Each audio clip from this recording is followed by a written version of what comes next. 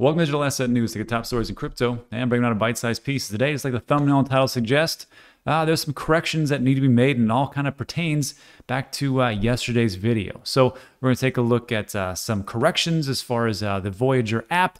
Also, we're talking about price action of the Voyager token. And then we're going to talk about uh, a question I got from a subscriber, which talks about trillions and how the market can actually go up and how hard it actually seems to be when it's really not. And then we'll talk about diversification, and this is just investment opinion, not investment advice. And lastly, we'll talk about the DCA show with uh, me and James from Invest Answers and George from Us. So we'll take a look at all those things. But first, let's take a look at what's going on in the market. So today's Sunday. It's a pretty good day, beautiful day. And uh, uh, the market cap is up almost 2%, 1.5% or so, depending on what uh, time you look at it. Bitcoin price is almost 48,000 and everything's up. It's a great day. I don't really concern myself with Sundays. I concern myself with Mondays and Tuesdays because those are usually the dump days these days. So uh, I'm not going to get into the price action. Everything's up. Congratulations. We're all winners. Great. So what I really want to do is just get into today's uh, top topic, top topic, which was yesterday. Uh, we had a it's a pretty good show. We we we talked about uh, the potential parabolic bull run, and we took a look at the past to take a look at uh, what's going on in, right now in the present, and what could potentially happen in the future. And at the very end of that show, I talked about some pros and cons of the Voyager app, and you know we talked about all these things and, and as far as how it pertains to the Voyager user. It's only available in the United States. That's okay but New York and Canada and everywhere else, you can't really use it. Very slow to get these things out. Very tough to get these things out. So we'll, we'll, say that. But at the very end, I said, here's one of the downfalls. And I was talking about the cons. And one of the cons I said was, hey, out of the 65 different assets that you can get on the Voyager app, only uh, 13 you are able to actually transfer out. And I said, you know, hey, that is a that is a downfall. And I said, you know, but you still get uh, interest in, on most, if not all, of your different uh, crypto assets if you just leave them on there. But it's your choice if you want to send them all out and put them into uh, cold storage, which is what I do a lot of the time. And then uh, I put that out on Twitter, and uh, before I know it, tons of people were just telling me how incorrect I was, and uh, I was way off base, and to do my own research, and and how can you say such awful things, and da da da. Look, I'm human, and people make mistakes Go figure, right? So I don't always get it right, but I make it right. And uh, for this situation, uh, totally incorrect on that one. And uh, what I did was uh, I actually deleted that tweet because you don't want to spread FUD and go from there. And then when people say, you got to do your own research. Well, so here's how I got to that conclusion. So I can go to the website and I go to the blog post, but those are old. I mean, sometimes they don't put out a blog post every single day. They don't talk about everything. Nobody really does, unless you're on Twitter. But this specific question I had, which was how many of these assets can I actually take off today? And when I would look at the actual different assets, uh, the ones that I actually, uh, you could actually take off, on the very right hand side, it'll say either transferred, not supported, it'll say receive or send or send and receive. And on the ones that I counted, because I went through all 65, I made my notes, and uh, the ones that I just said, hey, only 13 of these are the ones that you can actually uh, take off. And uh, then it was uh, made aware to me that you can only take them off, and it'll only say that if you actually have them in there. So it won't tell you uh, in advance of what it is. It'll only tell you if you actually have it. And then they said if you actually go to uh, the app itself and you click around and you click on the little monito on the upper left hand corner. It's your little person, little icon. Then uh, go to transfers. Uh, you can see all the different uh, assets you can transfer off. So I put a tweet out, said, hey, guess what? Uh, I wasn't right on that one. And I did a little video which said these are all the ones that you can actually take off. And you can see in the very top here, let me see here. Let me blow this up.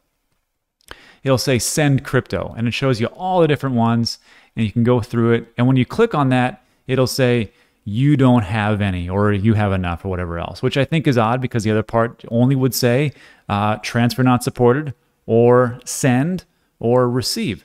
And uh, for those, I'm just like, well, you know, I would think that they would do them both, but uh, whatever. So I was wrong on that one. And uh, you can see there's like 35 different assets that you can do, which means in general that a half of those you cannot. So uh, that is that part, and that is what it is. So uh, I will say that uh, I don't want to spread any FUD and go around, so I'll do a little correction. So, hey, done. All right, so we have that. And then uh, let's talk about, because we did the correction, let's talk about the price action itself. So with Voyager, the Voyager token, I don't know if you can see that. Let me blow this up.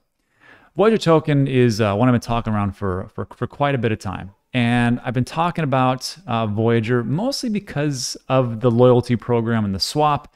And I actually talked about this in the pros yesterday. I'm like, look, if you if you're using Voyager, why wouldn't you have at least 500 tokens? Because you get all this cool stuff like 7% 7% staking, 1 to 3x crypto back, 0.5 to 1.5 earnings reward boost on all the things that you keep on there and then 10 to 30% withdrawal discount, which is coming pretty soon. The debit card's coming pretty soon, all that great stuff, blah, blah, blah, right?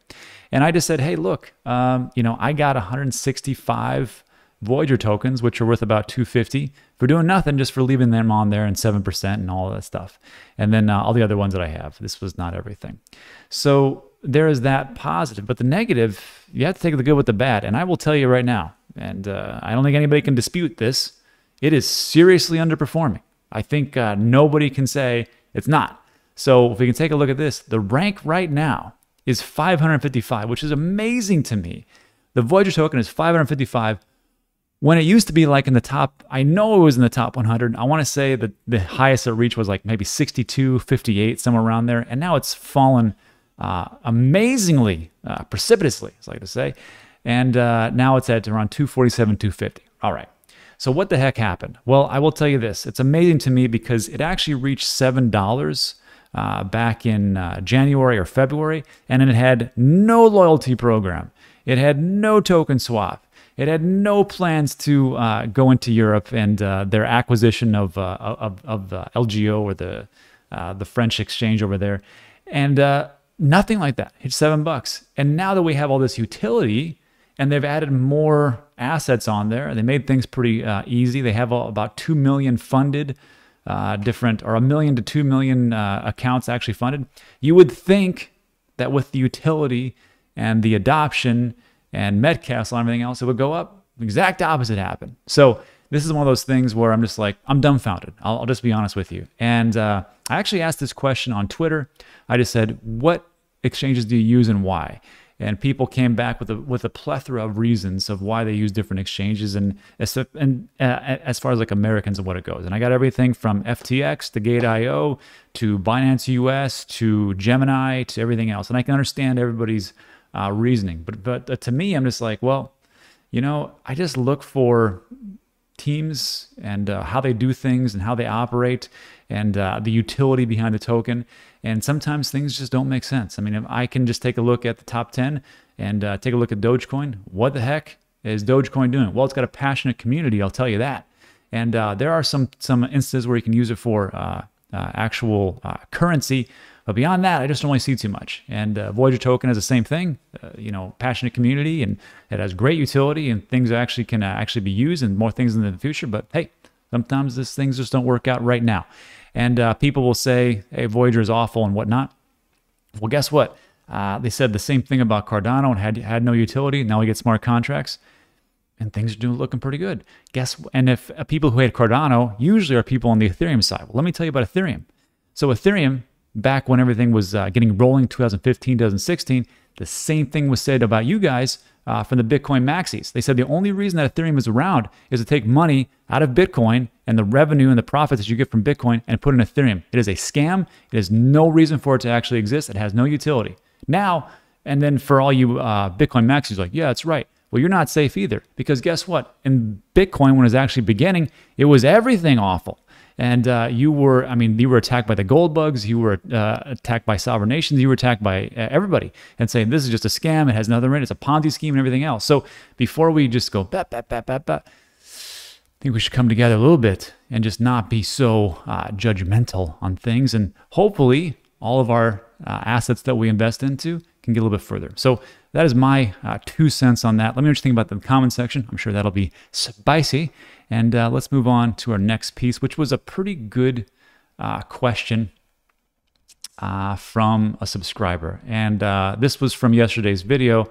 And it states, hey, uh, because we took a look at 2017 2021, it says, I can't see the same type of parabolic bull run we had in 2017 purely because the volume of money required to increase by trillions rather than billions. And it's a great point because back in the day, I mean, when we actually tried to go up, uh, you know, in the uh, market, we're looking at, uh, you know, 185 billion, 200 billion to 840 billion. Nowadays, 840 billion was the top of 2017. 840 billion right now, people would be crying in their soup and like, I can't believe this is going down so far.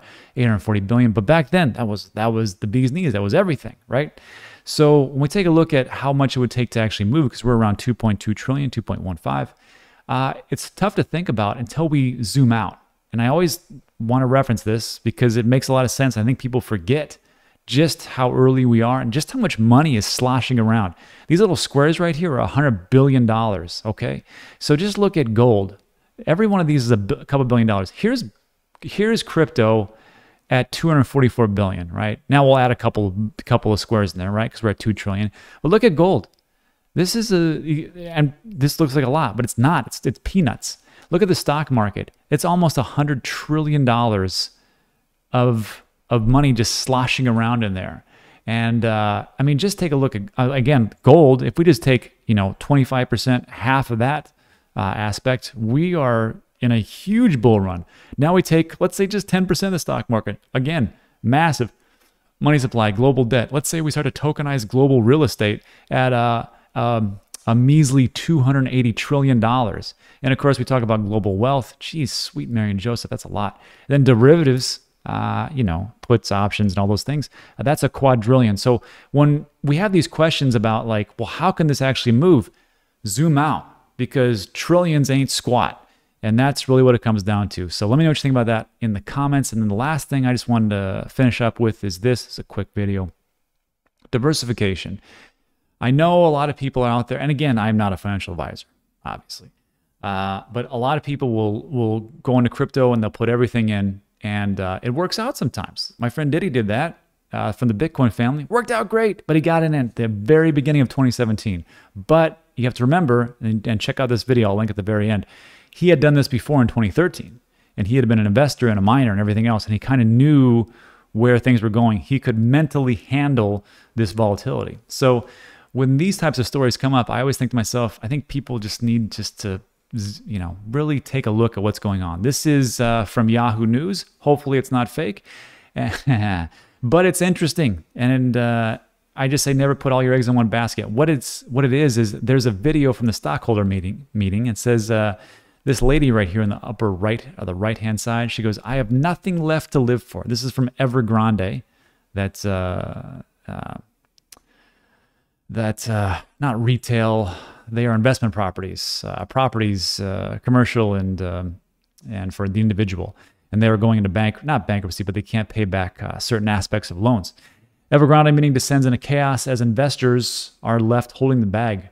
Uh, it's a compilation video that shows desperate investors confronting Evergrande staff amid the company's financial issues has gone viral. So people are investing, they invested everything into it, like this lady right here. And she's like, I have nothing to live for. And I'm like, who does this? Who does this? Why would anybody put their all their eggs in one basket? And uh, you know, I know people say, well, diversification is for idiots, and I think that comes from Mark Cuban. Mark Cuban said diversification is for idiots, and it was some uh, uh, interview that he did. And what he was really getting to was like, I don't know why people diversify in the stock market because if the stock market collapses, then it doesn't matter if you're on uh, Amazon or if you're on Tesla or if you're on whatever else, that's all going to crash. So if you're going to diversify, I think you should be in stocks. I think you should be in uh, retail. I think you should be in um, uh, some properties. I think you should be in gold. I think you should be in you know whatever else, whatever different asset class that you can, and even um, uh, Mr. Wonderful. Uh, O'Leary talks about that. He says, "Look, I've got eight percent in this and twelve percent in this," and he said he talks about his mom. He said, "Mom says diversify in different asset classes, not just diversify in one asset class." So for this one, to me, I just think it makes a lot of sense to diversify in those things. Like if you're in crypto, that's great, but maybe we should start to look out, not financial advice, into properties, into other businesses, into, I mean, even gold and silver. I own gold and silver. I don't see why not. I don't see why the gold bugs are so against Bitcoin. They should get in that too. And then also, I'm trying to uh, branch out into uh, art. And I'm trying to work with Masterworks. I just took my call where you invest into not tokenized, but fractionalized share of artwork. There's a link in the description. You can check it out. But I think that the more you have as far as across these areas, the more safe you are. And I know people will say you're a moron because you should only be in crypto. You can do that. Uh, my goals are not your goals. This is just what works for me. And that's it. So, look, uh, that's it for today. Just a quick video. Also, uh, as a reminder, tonight, or maybe uh, in the afternoon, excuse me, we're going to be doing uh, the DCA show. Me, George, and uh, James, best answer in CryptosRUs, just going over what things happen over the week, where things are going, and I'll link in that in the description. But that is it for today. So uh, if you like the video, give it a thumbs up. I really appreciate it. Uh, also consider subscribing, time sensitive, all that good stuff. Enjoy your day. Hopefully we uh, see a good Monday, but uh, we'll see. Anyhow, that's it. Thanks so much. See you in the next one.